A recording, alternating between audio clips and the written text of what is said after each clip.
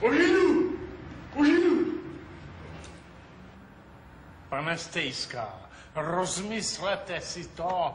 Tady jde o obrovskou sumu. Rozmyslete si to. Věříte se Japoncom, že žádnou cenu neprodávám. A když se naseru, že jim neprodávají cihlu. Hotové. No, Doktore, jdem.